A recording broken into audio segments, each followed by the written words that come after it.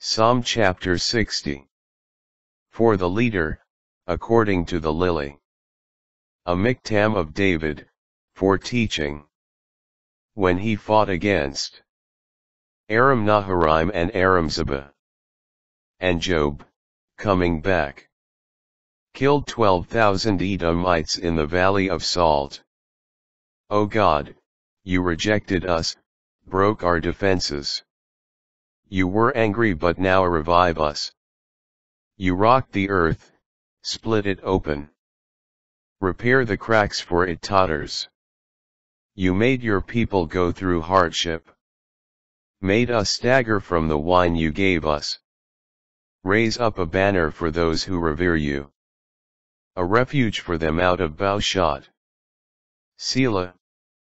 Help with your right hand and answer us that your loved ones may escape. In the sanctuary God promised. I will exalt, will apportion Shechem. The valley of Succoth I will measure out.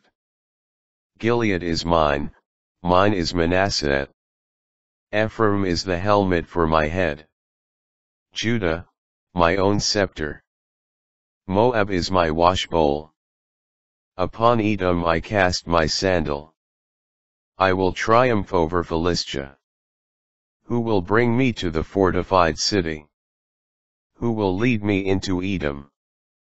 Was it not you who rejected us, God? Do you no longer march with our armies?